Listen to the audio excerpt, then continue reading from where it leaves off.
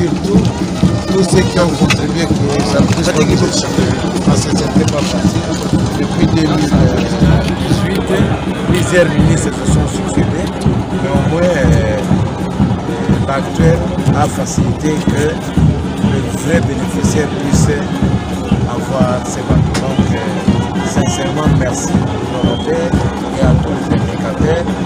Aussi, nous demandons aux utilisateurs de pouvoir utiliser euh, dans les bonnes conditions pour que ça serve réellement pour les besoins pour lesquels euh, c'est bâti.